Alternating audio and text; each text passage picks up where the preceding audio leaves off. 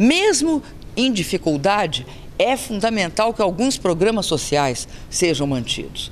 Nós estamos fazendo um grande esforço, uma cooperação forte com o Sistema S.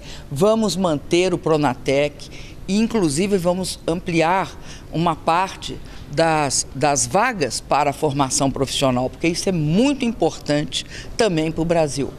A mesma coisa no caso do Minha Casa Minha Vida. Nós não vamos fazer os 3 milhões, mas vamos fazer entre um milhão e meio e dois, dois milhões de moradias.